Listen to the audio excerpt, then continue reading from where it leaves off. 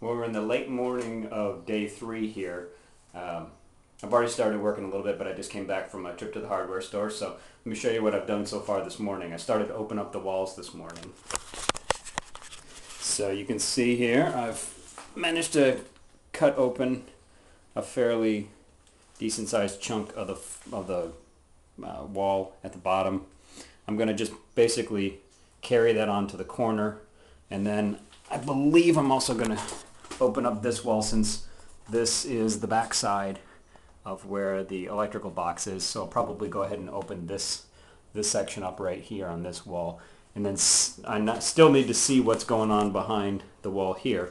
Um, you can see a few of the supplies I just got back from the uh, the hardware store, well, the building supply store, and uh, just picked up myself the the uh, copper tubing for the water uh, supply line for the ice maker, which has to go into the wall, up over the ceiling, and down to where those pipes are. So I ended up having to get 35 feet to give me enough slack once I'm done and get all the way up and over.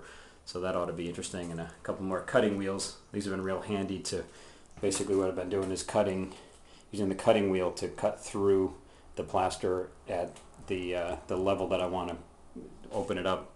And it turns out that, and, and then peel it back. And then it turns out that section, they must have been doing some renovation or repair work at some point because this section right here, as you can see in the back, is actually plaster over wallboard, which is a common technique where you buy, um, there's a plaster backing board that uses essentially the first coat of a, of a plaster job and it has the little holes. You can see the, uh, you can see the, uh, the surface plaster keyed through the holes in the board so that it uh, will stick and hold in there. And so part of the job has been that, which is real easy to remove. And then the rest of the job has used uh, the metal lath here.